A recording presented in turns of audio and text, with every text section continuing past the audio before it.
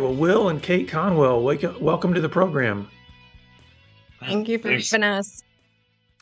Yeah, I was so excited that our wives care director, Gigi Hopkins, uh, Kate, had sent your information over to us because we're always looking for just additional places where there can be some good resources for um, wives that are dealing with betrayal trauma healing. And um, also, we love to connect with uh, stories with people who have stories of redemption. And that's why I was super excited to be able to have you guys on today and um, before we actually dive into your story, um, Kate, would you mind sharing a little bit about what you actually do in your your ministry?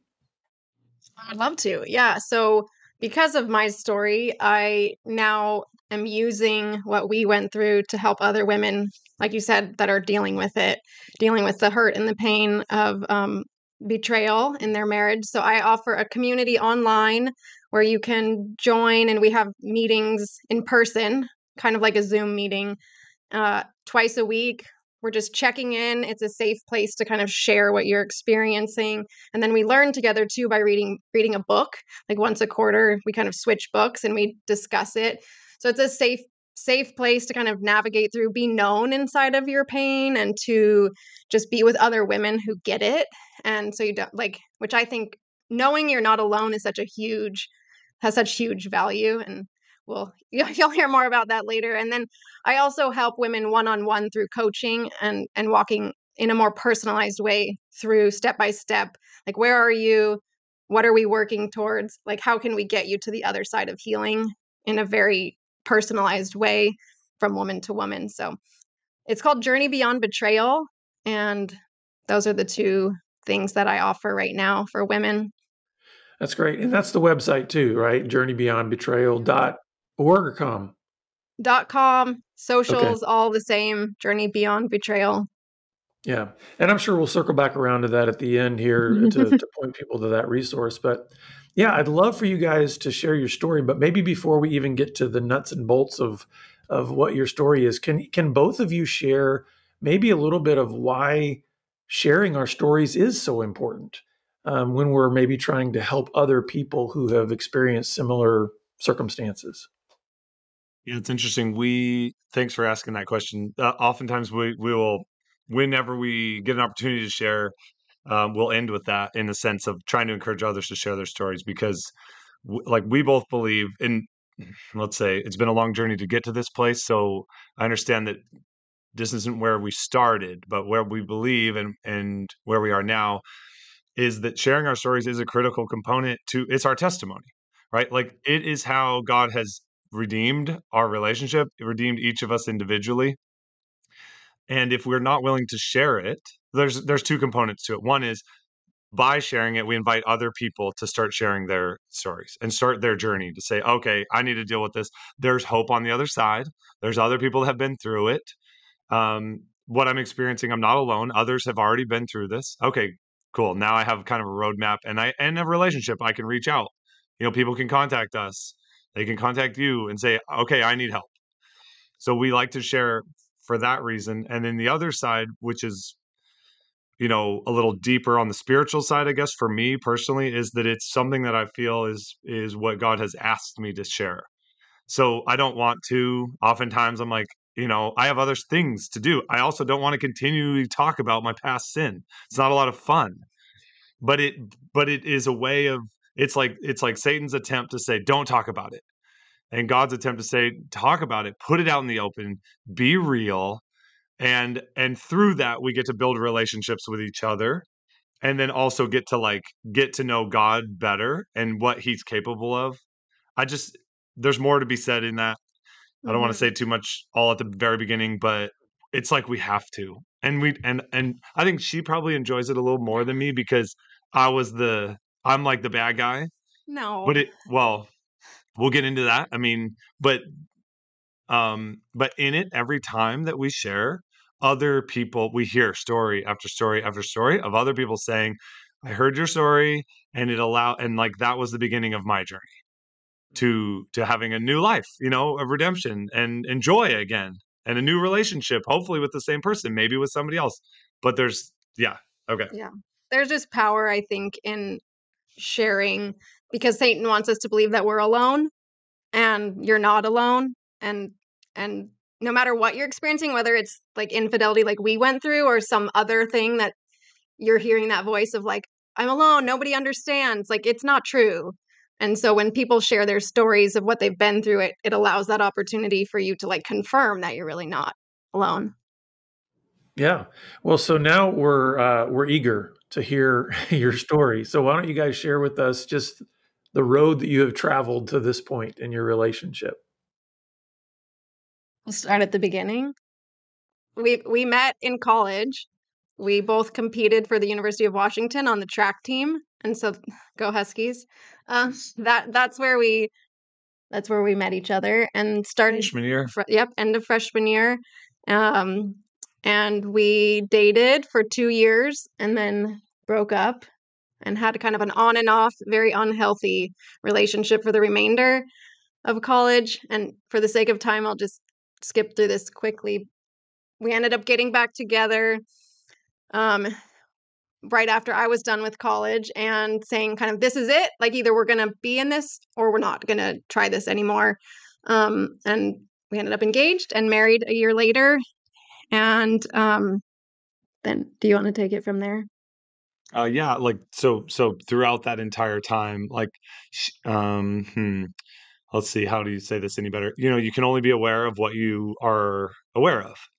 I guess you could say, right? You only know what you know, and you don't know what you don't know. And Kate hadn't dealt with lust and like you know wanting other relationships and and having inappropriate like pornography or any of those things. I had, but I didn't know how to talk about it. So like starting back all the way through elementary, you know, like 12 years old was the first Playboy I ever saw at a buddy's house. Pulled open his dad's drawer in the office and there was a hundred Playboys there. And at 12 years old, we didn't know what we were looking at, but I knew there was something that was like, this is amazing, and I want to see every single page in every one of these books. Nobody taught me to want to see that. Nobody like told me not to see it like specifically, right? The idea was like, well, just don't look at stuff like that. With and so I didn't know what was happening. There was like this seed planted in me. That seed continued to grow all the way through college. And so during our relationship, and then we would break up, and there was constantly this drop. We couldn't separate because we're on the same team, right? So it's like get Oh, away from him, the right? same track team. team. Yeah, Yeah. like yeah, yeah. We we couldn't like. In, a lot of people in college can just like, oh, let's. I'm leave. never going to talk to that Yeah, person again. That was not possible. We had to in, like we had to see each other because of what we were doing.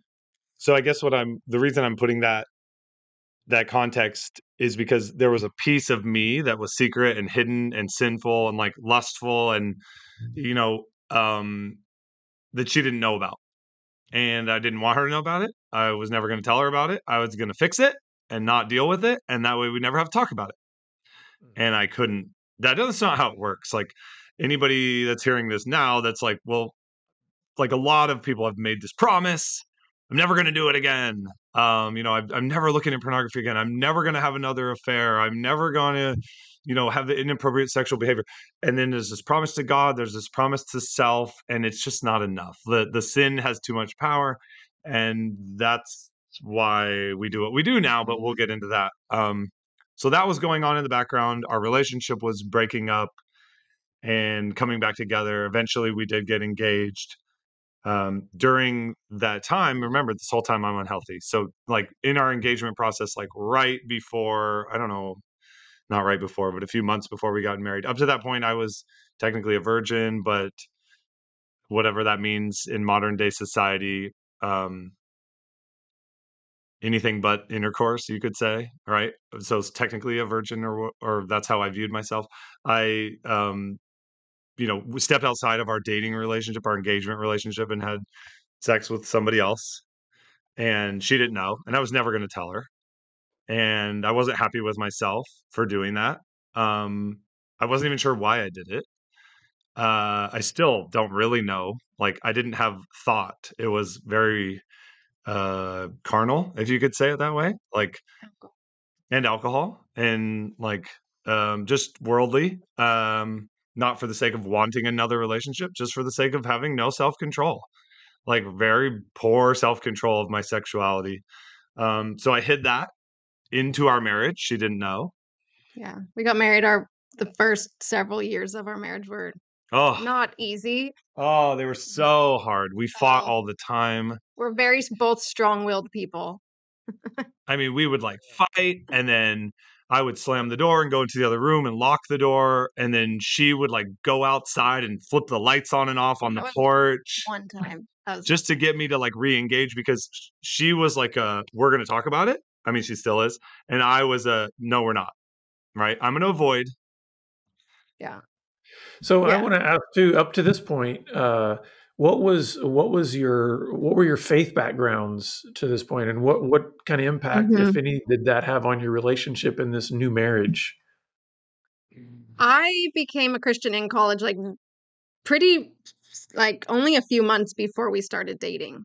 So I grew up like knowing about God, believing in God, but like not knowing about a relationship with him. Just like believing that he was there, like praying occasionally, but not like really understanding that I like the salvation piece of it.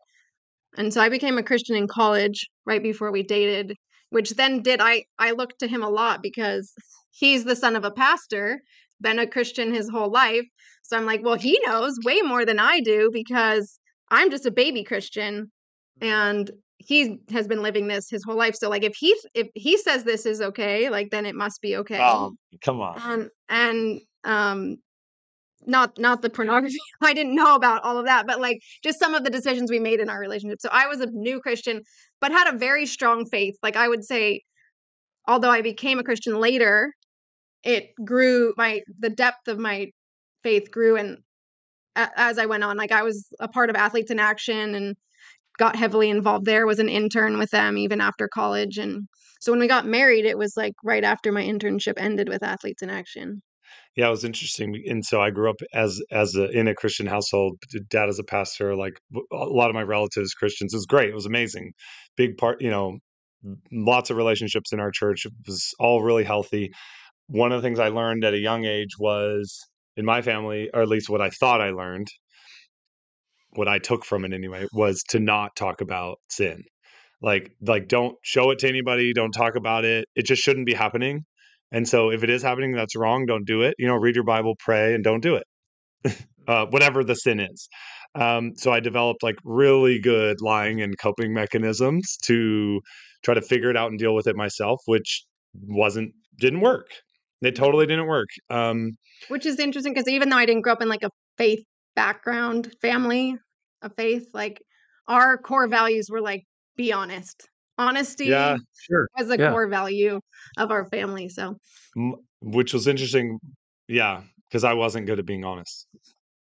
So yeah. So then you you said you know first few years in your marriage, there's all this conflict that's going on. At, at what point did uh, well? First of all, what what happened in the marriage, uh, Will, around your secret sexual brokenness issues? Like where did that go Yeah. in the marriage? Right.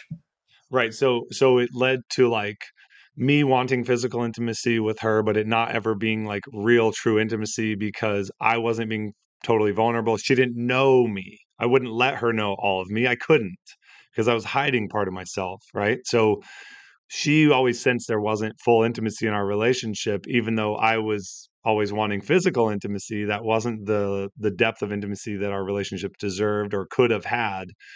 That then you know with my own sexual sin and lust and lying led to five years into our marriage i went on a trip for athletics and had a bunch of alcohol and ended up having an affair with you know a somewhat random person that i wasn't interested in for a relationship but was yeah so it we've so it messaging. yeah yeah we yeah so it it yeah it led to a physical affair um and then i said i will never talk about that. No one's ever going to know about it and i'm going to bury that and it'll go away. Just like i thought i could do all the way up to that point.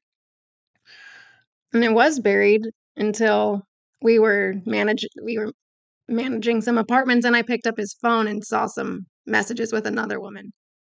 not the one that i had the affair with like i just couldn't i couldn't fill the void of wanting other people to engage with me in a way that made me feel like cared about. And it sounds sounds odd maybe if you if you never have felt that way, but if if you're listening and you have felt that way, you know exactly what I'm talking about. Um, yeah, well, there's oh, something. There is something, um, uh, especially for guys that have had a history of early exposure to pornography and some of those thoughts and those ideas, and plus weave into that the very clear moral teachings of Christianity that say, hey, that's out of bounds. There's going to be a lot of confusion and a lot of shame, a lot of guilt. And then I think uh, sometimes, and tell me if this is if this is some of your experience, Will, there's something just incredibly enticing and alluring with the the um, the chase, the romance, the the idea of just attraction but it never goes to any kind of mature level of relationship. There's a sense in which I just want to, there's a, I want to be um, uh, wanted. I want to be seen. I want to be, you know, involved in these fun things. But as soon as something says, I've got to sacrifice, I've got to be vulnerable, I've got to be mature, it's like, I'm out. I don't know if that was your experience, but I've seen that happen many times with men who are on that kind of trajectory. Yeah, you you hit it on the head, and I think the hardest part was that I can see all of it now, but when I was in it, I couldn't see the other side. I almost thought this is who I am. This is always who I'll be, and I don't even know how to engage in the world in an appropriate way because the way I want to engage with women around me and in my relationships is so un. I uh, now I would deem it as unhealthy, but at the time it was, it was like the only way I knew and it gave me an adrenaline hit and it was exciting and it was you know enticing and all the things that maybe somebody would say like when they first started doing some like hard drug and go like well i didn't really know and then i tried it and i couldn't stop yeah now kate when you see these texts what mm-hmm. happens next and where do things go in your mind and what kind of conversation like what happened then well you, have always been pretty relaxed so she was she didn't really take it too serious. So I immediately confronted him. There wasn't really a lot of thought like what am I going to do about this? He was downstairs, I guess, down at the bottom level of the apartment and I just like went down there and was like, "What is this?" Uh showing him the phone, asking him about the messages and uh then he tried to deny it, but oh, this was... was really not like any way to deny what was in front of his our both of our faces now and so then over that he was caught like i okay i was messaging this person it was very sexual messages but didn't turn into anything and i'm like okay well is that it? Like what else have you been lying about? Now i know you've been lying what else have you been lying about? No nothing. Okay i don't know like days or out like I don't know what the it's hard to remember the exact timeline. This is now 11 years ago, but it's a pretty short timeline. There, there between that and then like two and a half weeks, more and more things got disclosed over that that period of time. But she did a great job of like not being afraid of what she was going to find. I mean, maybe you were afraid of it, but she went. She wanted all the information, and she started like contacting friends and all the people that we both knew and asking them like has has my husband been inappropriate? Has he said these kind of things to you before? And well yeah because you said you can assume i've messaged like everybody but a handful of people like kind of just with little like things that would seem innocent enough but like depending on how they would respond. I would i would have an excuse like oh i'm just a flirty kind of guy. You know i don't mean anything by it i just have a tendency to be a little flirtatious which was my cover right? Like not i didn't it, I don't I didn't design this. It happened organically. Like now looking back at it is I'm not like a master manipulator. I'm not smart enough to be that way. It just happened. Um but You're very smart. Well, that's one thing I think that we we can't recognize, Will, when we're in the middle of it, is just how uh, creative our sin nature can be, and how you know it's like you had you you might even and, and and again looking back you might have a lot more clarity now but guess what? From the age of 12 you were being groomed and trained towards some of these outcomes that were happening now in your marriage right? Because pornography was teaching you. It was teaching you to be a taker. It was teaching you to be about pleasure. It was teaching exactly. you to be about you know no consequences. It was teaching you about how to hide how to you know so and yes i agree so many of those things can be happening on kind of a subconscious level when we're teenagers But now you're being confronted with the reality of, okay, this is now out in the light. Like there has been something, there's been a phone shoved in your face by a woman who loves you that says, What's this all about? And so yeah. help us understand then what happened over the weeks and months after that for both of you, because, mm-hmm. you know, Will, you're confronted. And now what are you going to do being faced with your secrets? Kate, how are you starting? How are you dealing with this new information that is a huge blow to your trust in your husband? Mm-hmm. So the yeah. and the question you can go first, but the question you just asked is perfect because that what what we often see with other people that we work with is how they respond at that moment and and how serious they take it and like the the the priority they move it to in their life is maybe like like the simplest answer to how how quickly their recovery will come whether it's a recovery individually or as a couple which that's we can't determine that only that couple will determine that but yeah so here we go on what we did so I was pursuing the information like, well, I have this piece. Now, what else is there? What else? It's coming out. So all those things that he mentioned, like the physical affair when we were married, that came out. The physical affair before we were married, that was the last piece to come out. And at that point, when those two, and I was already separated from him at that point, I had said, when I learned about the pornography and the texting, I had taken, we had a one year old at the time, taken him down to be with my family um, and to try to just get some space. And then when I found out about the physical affairs, I was like, well, now I'm really out. um, I didn't know what to do really, and and so I called some of our friends. I went to stay with. We had just moved across the country from Alabama back to the Northwest, so I went back to Alabama with our son to just kind of be taken care of. I I shared with them like this is what's happened. I can't take care of myself. I can't take care of my son. Like, can you take care of me? and I and they did. Group of women they there. did. And I lived with one of them for a couple of weeks and just got to grieve essentially what I didn't realize I was doing then, but like just feel all those broken feelings of like, this is terrible. Like I knew this was terrible. I didn't know what I wanted for my marriage. I knew I was like completely broken. And I I just let myself feel all those things though. Like didn't try to like pretend like it wasn't a big deal. Accepted it for what it was and just kind of started to like mourn it. I guess. And someone did share that with me like kind of early in the process like you need to grieve what you've lost. Um, and so even though we hadn't lost our marriage, like just lose some of you the, really had them you had like it yeah. wasn't real. It wasn't based in what I she, yeah, yeah, lost like my my identity as like the only person he'd ever been with and and and some other things as well. So I was there. I could just sit in my feelings. I had people taking care of me. And then I got to the place where I was like, okay, I can't stay in this basement, like literally the basement forever. um, I need to do something about this. So I started reading books. I started like trying to figure out how to deal with this. I, I ordered books from Amazon, like started anything I could. My favorite book from that time was Shattered Vows by Deborah Laaser and read read a lot of books just to try to understand like what am I experiencing and, and we're still talking. I'm at this point I'm like I don't know what I want for the relationship. Like I'm not even making a decision about that right now.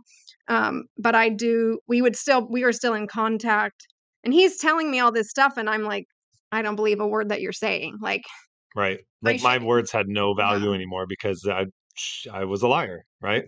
Yeah. So I'm trying to just, I am asking him for information and he's being very forthcoming with all of it. He didn't, you know, at, once everything was out, he, it was out and it was over. It's like, fine, full surrender. Like, I'm done with this. I don't want to be this person anymore anyway. Finally, I can be free from this burden and ev- and I can just start over. So we've said like the rock, he, he's carrying this rock, and then it comes now. He's free, feeling free. His oh, I felt so good. Finally. And I'm now carrying it. I didn't feel good about what I did to her. I felt so good to not have that secret and that burden of hi- of hiding everything was finally just gone. It was I'm I'm dead to my past. I, I get reborn. You know, okay, I'm going to commit my life to Christ. There's a, there's there's a lot to that cool the my cool side of the journey um and and i'm fresh and i'm new and that's my old self and that person is dead and that's not me anymore and she's like oh yeah it is you did those things i'm like that wasn't me though and it's like oh, okay we got to figure out how to how to do this Right. So so when that's happening, so there's this really cool piece. Can I do I have a second to there's this really cool piece where I had finished throwing. I was a discus thrower. I'd like coached at a couple Division One universities and competed at the Olympic trials a few times. And and and I thought I would just go into coaching, and I, I was it made perfect sense. And and I didn't get a single interview.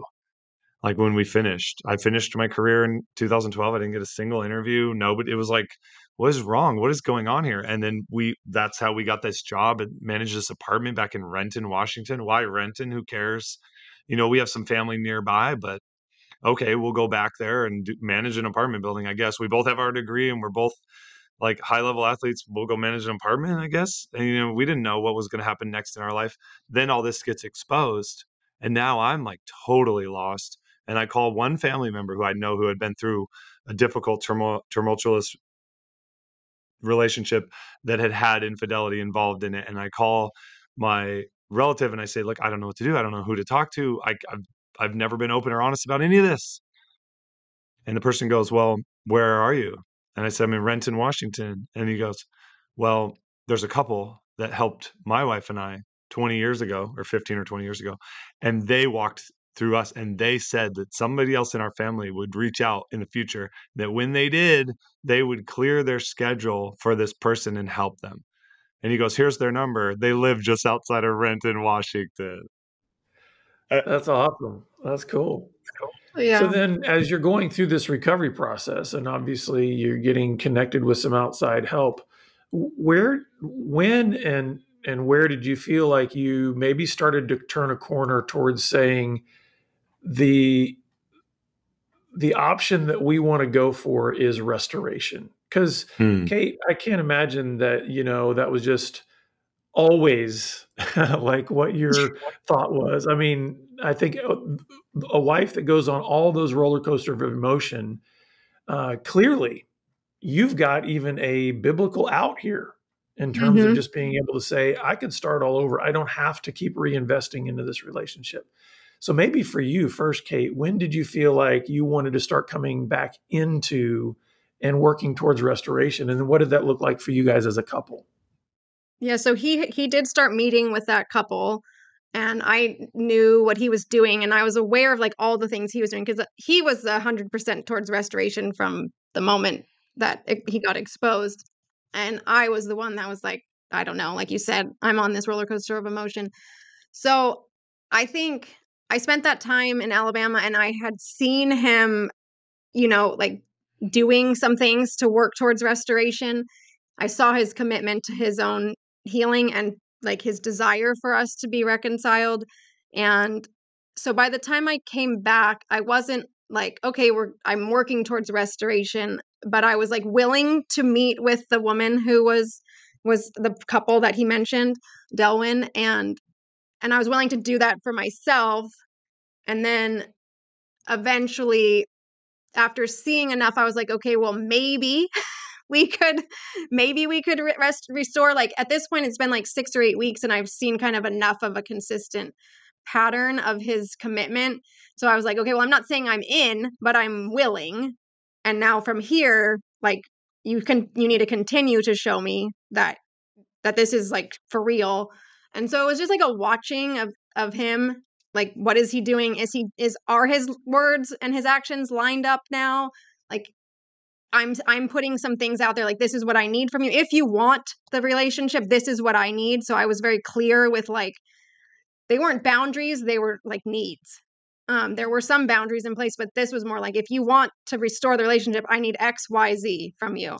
Um, he would do everything that I asked. Uh, and so it was just me stating what I wanted if it was gonna and then watching him to see if he could do it. Like that's that's really hard i've realized like and i remember back then like when you say this is what i need and and if i can't have it i'm not willing to be in the relationship one you have to really mean that you have to mean that you're not going to be in the relationship and and so i wouldn't say that if you don't mean it but also like i'm being now vulnerable because i i'm saying this is what i need and he it's up to him to to do it like i can't force him to do it and i remember being like okay i've i've laid these like clear lines in the sand and now I can't make him do it. Like I can't make him want to be married.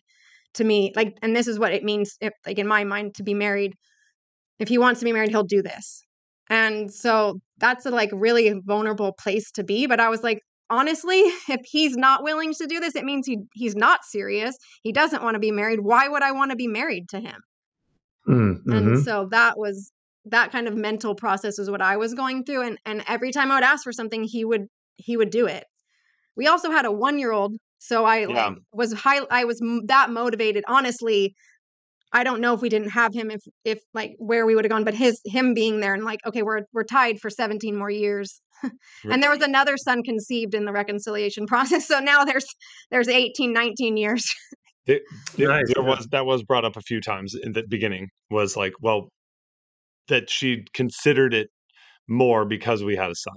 You know, I mean, it, it wouldn't Well, be and a I- clean break no matter what. Right after that, Yeah, and you know, I as a Christian, I look at that as the providence of God in your relationship. You know that there's this yeah, child that was there as part of a part of the reconciliation. Even I do have a. I want to ask a question as we kind of start uh, aiming towards landing the plane here. Um, you know, we we know that the definition of insanity is doing the same thing over and over and expecting a different result. So obviously, you guys couldn't keep doing what you had been doing prior to this discovery and disclosure if you were going to have a different kind of relationship. Mm-hmm. Can you highlight maybe just a few key things that have been radically different in terms of what you have done since this discovery and disclosure and recovery and all of that versus the things that might have been part of your relationship prior to that that weren't so healthy and weren't so good. So what are the key elements that you've discovered in this restoration process that are You wanna go super important for your new relationship? Yeah. The that's a great Keep question. landing the plane you just Yeah. asked a loaded question Yeah, let's see. We got about two Well, more hours to answer that question. Circling. Um, we're no, we it may you- take a little while to land. So Yeah, we know. We, we- I mean, we can be succinct, but that so essentially it was right. Like what what she had to do was be aware. She had to be aware that this is a reality and is something that I needed to, to deal with, but that she had to be aware that was a real thing going on in our past, and so she needed to be willing to to look it in the eye, right, and also then you know engage with me and and as I went through that process, right, if she wanted to, if we wanted to have a relationship, and then on my side and I'm not speak for you, you can add to that. But then on my side was I had to one, I had to be in a community group of of other men who we could openly talk to. So I first went to Prodigals up in was it Renton, Washington, I think. Um, then I went to Celebrate Recovery, um, which was a little bit more lively and more like um, a church service kind of. And then I found 423. 423 is where I ended up. That's where I'll point people to now. I love it. It's 423 Communities. It's a group of men that, you know, there's all sorts of groups around the country. We meet on Zoom, we meet in person. They're my best friends. Like I've been in the group for 10 years, two hours a week. For me, it's every Monday night. I've been a leader in that group. After the first six months, I became a leader. That I, I needed that. I needed a place to go and to be openly talk and be real about my sin, my thoughts, my fears, and for other guys in the group not to give me advice, but to just listen and go, "Cool, thanks for sharing." And then we How did- read. how did that group experience change how you began to communicate with Kate? That's the thing. Go ahead. I that's what I was gonna say. I guess it's like I think one of the things that that changes and continues. I mean, it's it's an area of growth that I don't think you can ever like achieve. It's a lifestyle. It's a life. It's like understanding why you're doing something, and and then communicating with each other, like open and honest communication.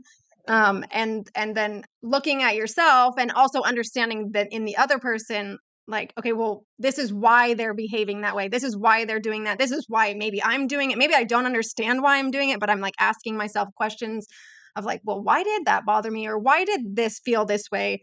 And so this like self exploration of like what i'm what i'm what i'm doing and also what he, uh, he's doing and where that comes from and the roots of that i think is huge in our relationship. And it's like in the last 11 years i mean it started really small but now like Yeah. we have so many conversations around like well the reason i'm saying this is because i'm really feeling this and Mhm. and like so i'm when i say that i'm really like afraid but i'm i'm yelling at you. Like it's it's uh it's really hard to conceptualize until you go through it right? It's like it's like when you fir- have your first child and you see the baby and all of a sudden you love them unconditionally you can explain that all you want. When you see it and feel it you go oh i get it now. And that's how it feels to us is like people go oh you should be self-aware and have all these good conversations. Yeah yeah yeah yeah, yeah. but now that we're in it we're like oh this is what people were talking about. And uh, Like, like, let me health- give a perfect healthy marriages i was just telling this to someone like healthy marriages are not two people that like can read each other's mind and he just perfectly knows exactly what to do and, nice. and he's amazing and he you know and she's like do, fulfilling all of his needs maybe because they're communicating about it like they're talking and they're having fights and they're also talking and they're using their tools to communicate it's all communication So maybe it's a perfect example. Like like the other day, so our son was being really disrespectful. You know, he's twelve, he's becoming a teenager, right? And and and and I turned and I started yelling at him. And I like grabbed his shirt and I'm like, ah, you can't talk to me that way. You're being disrespectful. And then and then I pull out of that situation. She comes over afterward. We're just alone, and she goes, did you like it when your college coaches treated you that way? I go, well, he's got to respect me more. And she goes, right, the same way other people treated you when they wanted your respect. Did you like that? I'm like, no, I hated that. She's like, then why are you treating him that way? And I was just like, you know, like, perfect. I want to engage. I want to be a better husband. I want to be a better dad. And I'm willing to go, yeah, I don't want to act that way. Thank you for bringing that to my attention.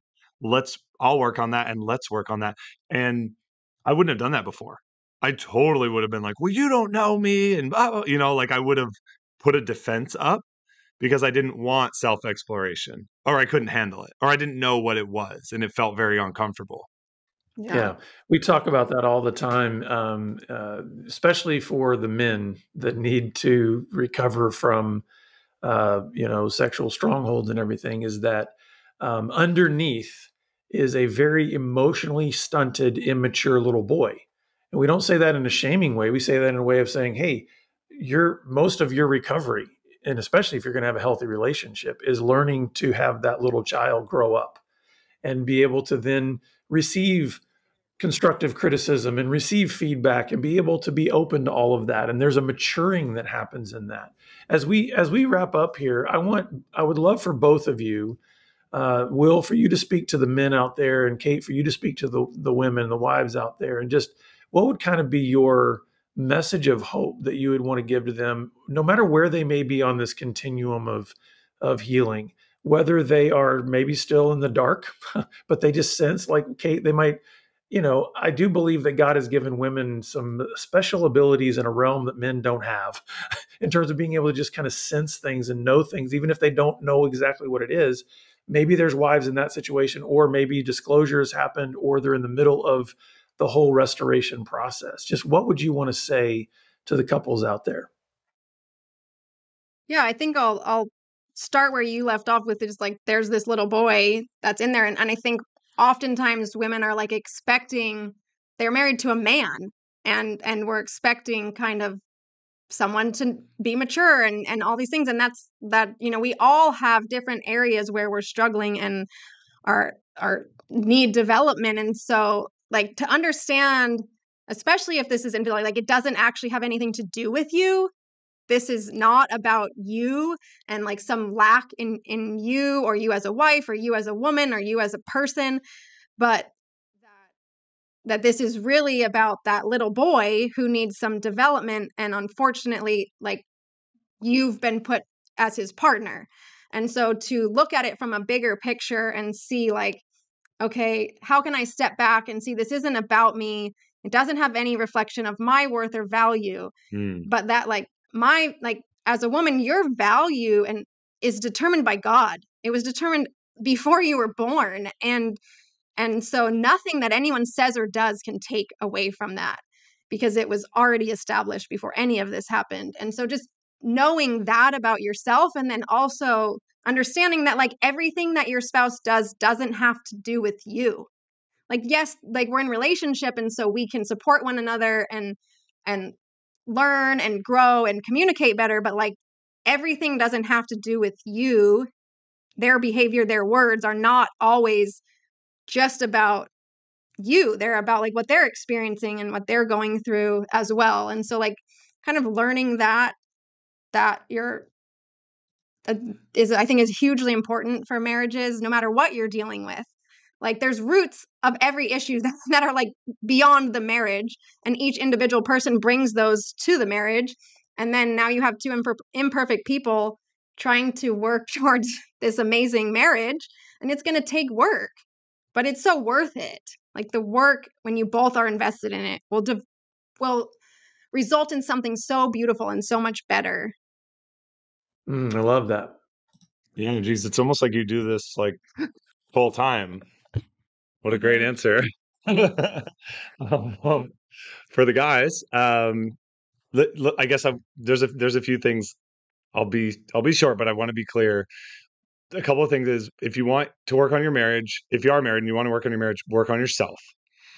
So you focus on your marriage and you haven't developed yourself, your marriage will not improve.